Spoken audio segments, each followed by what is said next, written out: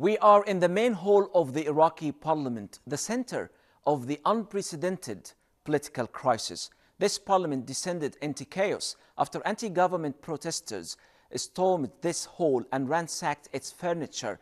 They damaged headphones, speaker devices, and scattered the documents, the session minutes everywhere.